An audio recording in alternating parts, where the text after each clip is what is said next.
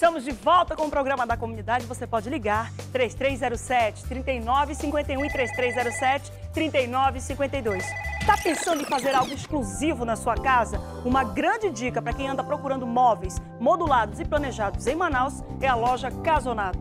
Tudo que você precisa com qualidade você vai encontrar na Casonato. A Casonato possui um dos melhores custos-benefícios de preços para móveis planejados e modulados da cidade de Manaus e tem um projetista muito capacitado para fazer um projeto único para você, com sofisticação, requinte, design, de acordo com seu estilo. E não para por aí não. A Casonato também tem fabricação própria, com as marcas Casonato modulados e Casonato planejados, com prazo de entrega em até 25 dias.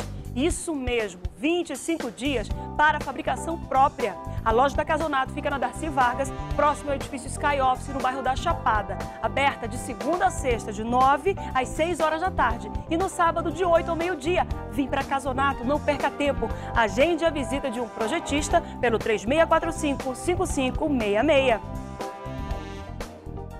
Muito bem, depois dessa dica da Márcia Lasmar, aliás, agora você pode comprar aí o seu móvel, né? Pode fazer aquele investimento, principalmente você que está nos assistindo aí no Japiim. Porque depois de um trabalho que realizou a polícia, tirando de circulação um bandido que aterrorizava, ele não é homicida, não mata não. Mas, meu amigo, é complicado. O camarada roubava, mas roubava com vontade. Pelo menos sete pessoas já fizeram o reconhecimento dele. A Tatiana Sobreira foi agora de manhã lá no primeiro distrito integrado de polícia ali na Praça 14 conferir essa situação. Vai trazer os detalhes da prisão desse bandido perigoso que tocava o terror no Japim. Tatiana Sobreira na tela do agora. Lá, Tatiana. Olá, Amaral. Olá, Márcia. Isso mesmo. Olha, o Clebson da Silva já era uma figura conhecida aqui da Zona Sul. Ele, em atividade suspeita, na quarta-feira, estava caminhando pelas ruas do bairro Educandos, quando a polícia, numa abordagem, chegou até ele, tentou conversar e, ao fazer uma revista, como de praxe, encontrou uma faca e uma tornozeleira no bolso dele. Imediatamente, a polícia encaminhou o sujeito para cá, para o terceiro DIP, aqui no bairro de Petrópolis. A gente vai conversar com o titular, delegado Fernando Bezerra, que vai explicar explicar como foi que a polícia procedeu logo em seguida. Tudo bom, delegado? E agora? Prendeu o sujeito e ele já tinha passagem pela polícia, né? É, é interessante ressaltar aí que é uma atividade, uma diligência policial bastante célere, né? E contamos também com a celeridade da, da justiça nesse, nesse procedimento. O sujeito, em princípio, não tinha é, condições de ser recolhido à cadeia por conta da inexistência de uma situação de flagrante delito. Mas nós diligenciamos no sentido de que, enquanto providenciávamos o os procedimentos cartorários em andamento aqui na delegacia, nós protocolamos uma representação de prisão preventiva. Por conta do quê? Por conta do histórico policial que esse indivíduo ostenta. Esse indivíduo é, de fato, de alta periculosidade, ele já tem um reconhecimento em diversos é, outros roubos aqui na Zona Sul e ele é uma figurinha conhecida do ponto de vista da criminalidade, principalmente nos crimes contra o patrimônio aqui na Zona Sul. Vamos ouvir então, Márcia e Amaral, o que, que o Klebson tem a dizer sobre os crimes que ele cometeu. Mesmo com o direito de trabalhar é, tranquilamente, você prefere ficar no mundo do crime? O que, que você tem a dizer sobre isso, Klebson? Não tenho a dizer nada. Se você pudesse mudar de vida, mudaria?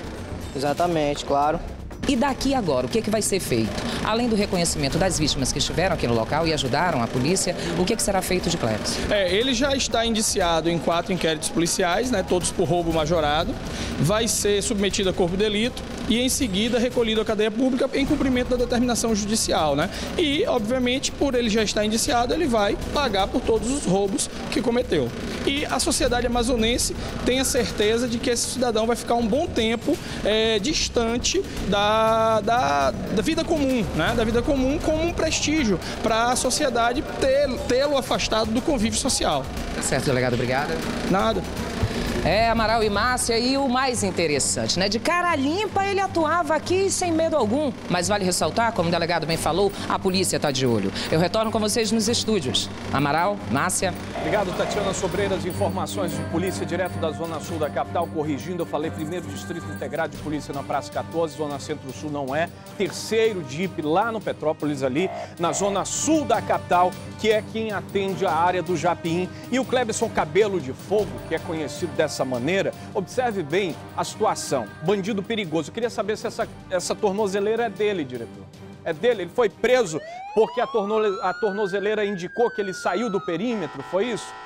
Ou não? Ou então não funciona, não serve a tornozeleira, que foi feito um investimento enorme nesse tipo de equipamento que ele estava com a tornozeleira no bolso desfilando por aí é, continuava amedrontando, levando terror e causando danos ao patrimônio público e privado, né? Era um ladrão profissional, é um ladrão profissional. Interessante que a Tatiana Sobreira pergunta dele o seguinte: ela diz assim, você pudesse mudar de vida, você mudava? Nesse caso aqui, telespectador, é complicado.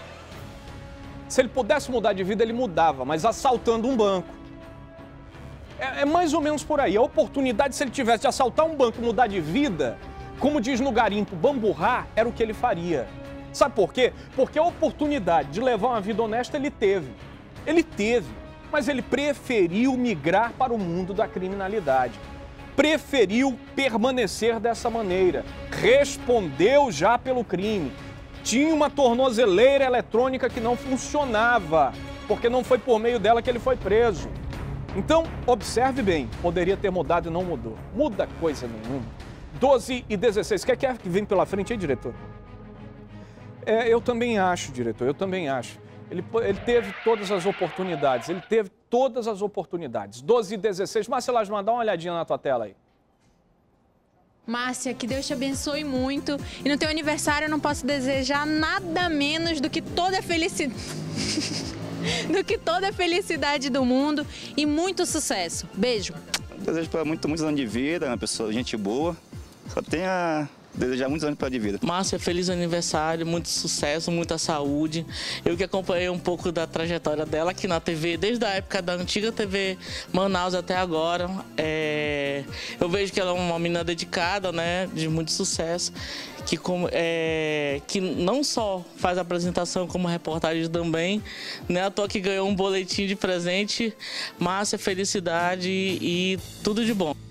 Sem chororô, intervalo rapidinho, 12 e 17, até já!